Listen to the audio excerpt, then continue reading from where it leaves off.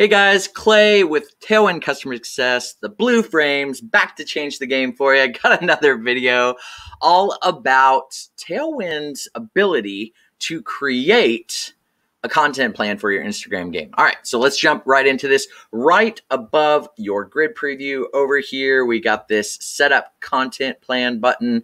You may have not noticed it before. It's only going to exist on the desktop site. Highly worth digging into though. You're going to click on that kabow.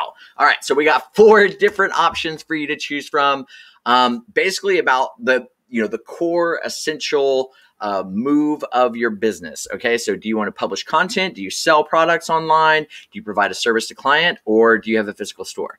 Uh, me personally, I, I, do some fitness and nutrition coaching, so I'm going to provide a service to clients. So then I will generate a plan. I'll do a little thinking here. And that's going to give me different types of Instagram posts to actually focus on throughout my week. And so I can either say, see my plan on the dashboard, or I can actually customize my plan and choose what type of post I actually want to put on what day. So, for example, you don't have to put a, a certain kind of post every single day if you don't want. You can leave Mondays, you know, completely blank by hitting the trash can.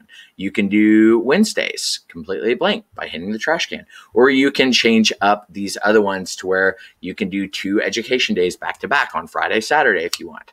Then hit save changes. It saves everything for you see my plan on the dashboard. And now over here in your grid preview, what's going to happen is we are going to ascribe those different types two different time slots. And then once again, if you ever need to change those up, you can go right back to edit content plan and you can actually customize that plan again.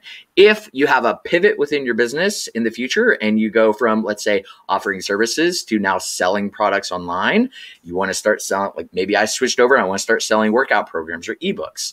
I can actually just hit this go back button right here choose a new category, new motive for my business. It'll generate a new plan. And so now I can go in and customize that plan. So uh, give it a try. Let us know what you think. Definitely hit us up in the comments. And yeah, have a great day, guys.